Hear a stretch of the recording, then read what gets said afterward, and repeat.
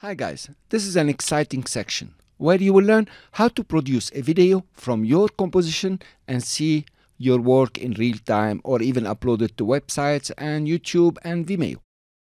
There are two options to create a video from your composition. One option is to use the Add to Render queue.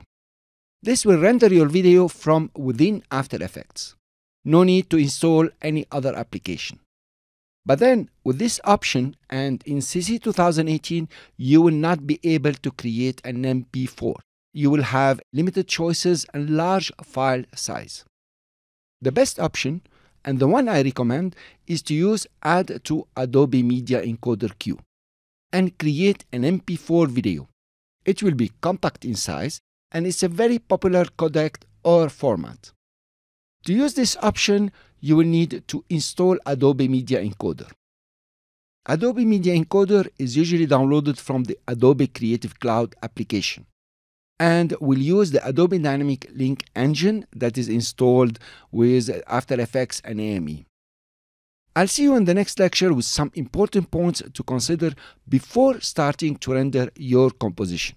So let's dive in.